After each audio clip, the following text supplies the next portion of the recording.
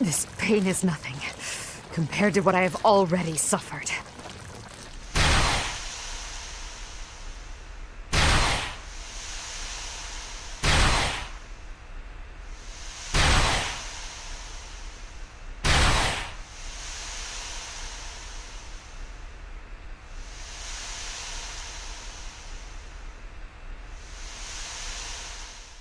All costs. Torlinato. Well, if I were to die now... All will be okay. I won't falter.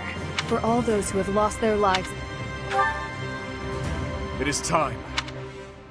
They are here, but my progress cannot be stopped, no matter how many people try. The war's end will spell destruction for one of us. There can only be...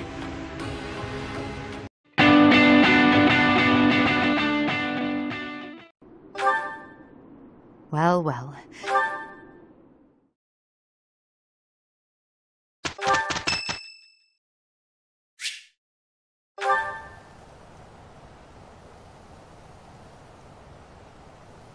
Sorry. One day,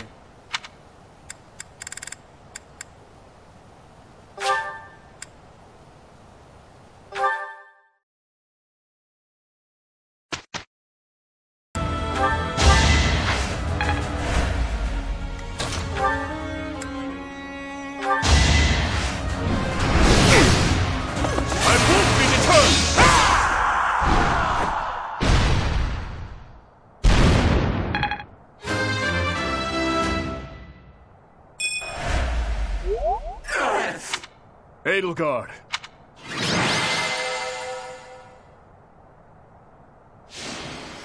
the Holy Kingdom of Faerghus, which now included former Alliance and Imperial territories.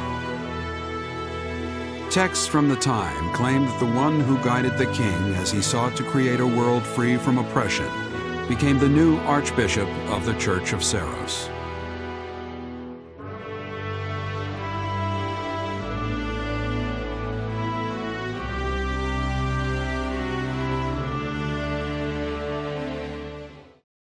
I convinced myself that I was just pining for the past. I was worried that revealing those feelings would ruin our friendship. anyway, it's your turn to talk. Tell me about your past.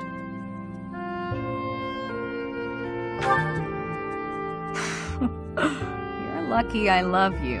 Otherwise, I wouldn't let you get away with an answer like that.